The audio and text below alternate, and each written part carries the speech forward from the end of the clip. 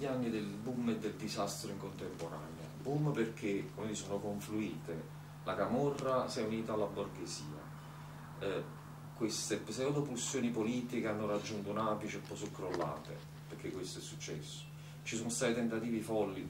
Gli anni 90 sono stati il momento più alto e il momento più basso, da là in poi non è successo più niente.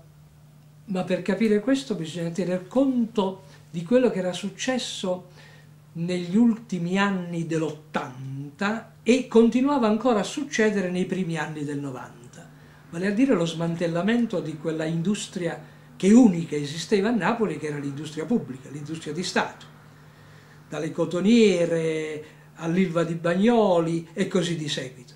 Questa grossa industria, questa industria più o meno pesante, o comunque questa grossa industria, così come era nata per iniziativa pubblica, così sparisce per iniziativa pubblica.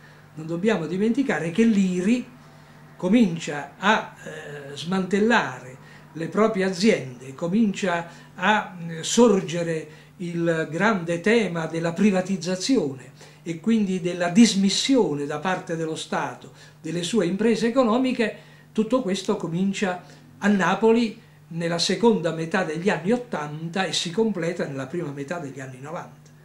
E quello che era stato negli anni 70 il processo di aggregazione di una classe, la classe proletaria, quel processo beh, si perde, perde i suoi effetti, la classe proletaria si disperde. A Napoli non esiste più classe proletaria e al tempo stesso non è nata una nuova classe borghese.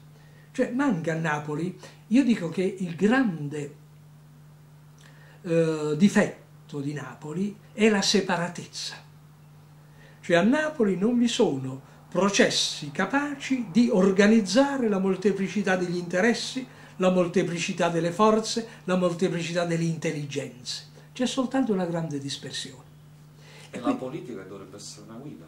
Eh già, ma la politica da un lato è una condizione perché la coesione si formi, ma dall'altro lato è anche l'effetto di un minimo di coesione che comincia a far battere il cuore politico così come esso deve battere.